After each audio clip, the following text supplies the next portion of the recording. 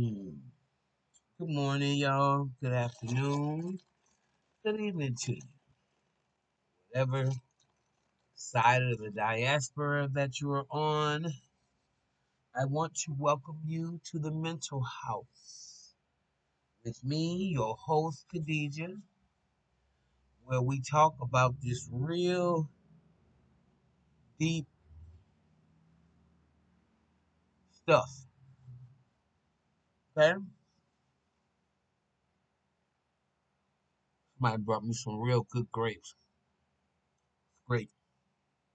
But before I get started, let me get rid of it and begin to talk about these magnetic personalities that people may not see as really harmful right away when they first encounter. Usually it takes a little while, unless you're attuned to it, unless you have um, an education base in it, uh, or an academia presence about yourself, especially when it comes to psychology and matters of sociology. When you encounter encounter some of these magnetic personalities, a lot of times you can be smitten smitten by them and their charming ways. All through time, there have been these particular type of narcissistic individuals with super energetic personalities. Oh, when they're positive, we love them, right? For instance, like a Muhammad Ali, who was so full of himself, so um driven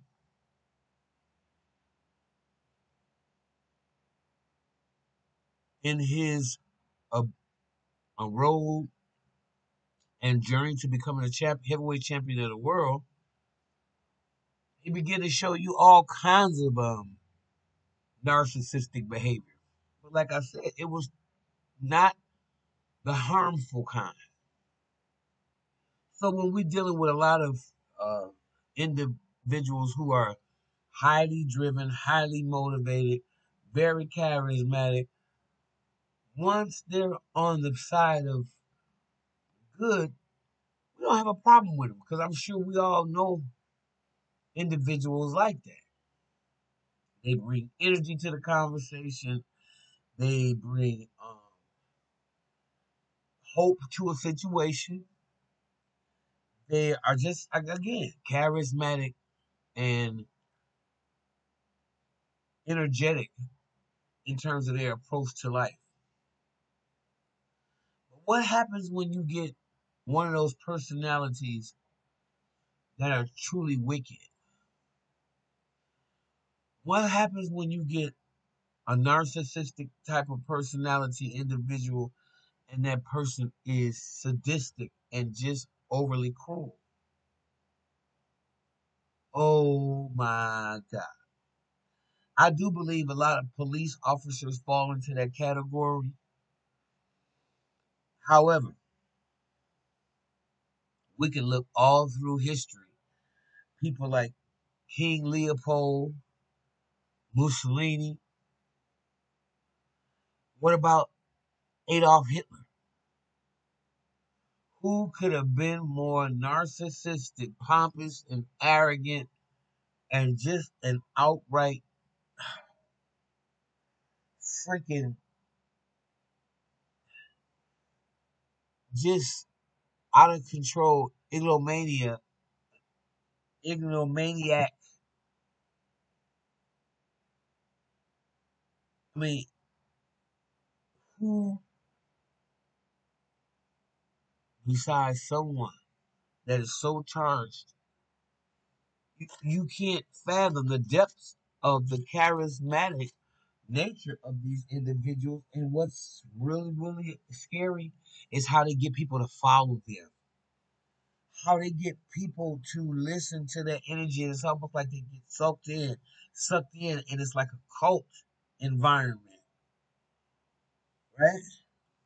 Y'all know what I'm talking about. Probably got them on your job, maybe a supervisor. No, you got them in church. Missionaries,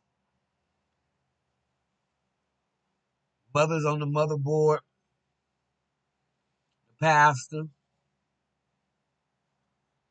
Then you got people like Jim Jones, who led all those people in 1979 to go over to South America, Guyana, Jonestown,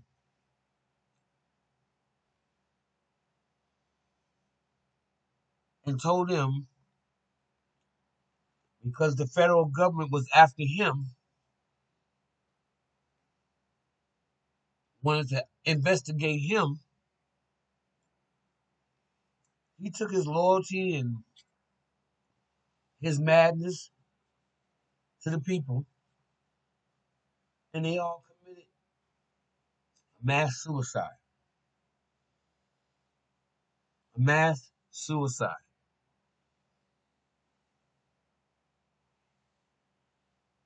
What about Idi Amin?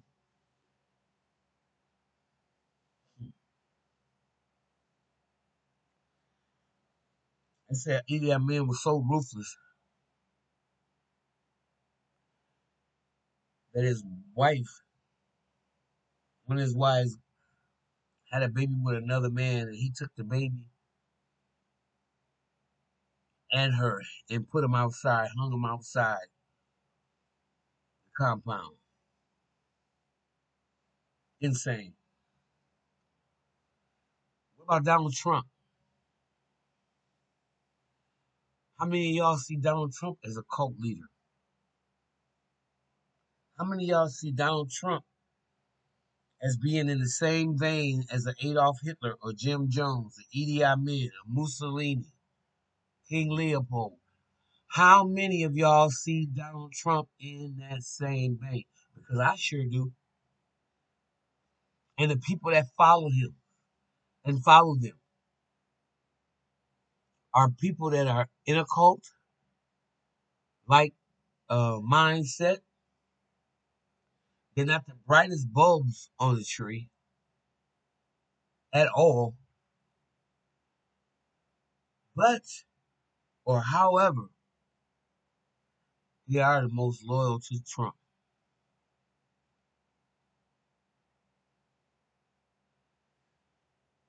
And this is sad. When you've got to let a man in the year 2021 hypnotize you so bad and mess your mind up so bad. After four years of him, some of y'all don't act like you know what normal is. But I know that you do. I know that you do. So with that being said, if you like what you hear, please subscribe. Please share. Please comment. And please donate to the channel. See you in the next video.